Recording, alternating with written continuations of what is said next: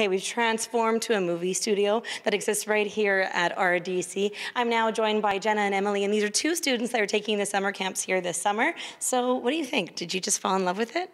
Yeah, I, I really like it. It's a lot of fun.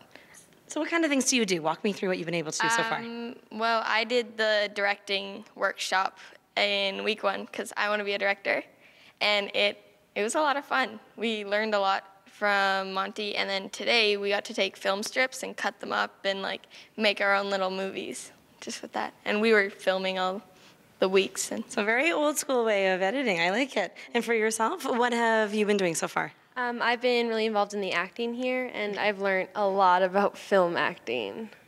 So, what would you say for people that are watching at home? What would you say is different? What's a good What's a good tip when you're acting for film? Um, it's it's a lot different because when you're on stage, you have you know the audience and you, but when you're on film, it's the whole crew in front of you, and you have a camera in your face and microphones in your face, and you really just got to stay confident.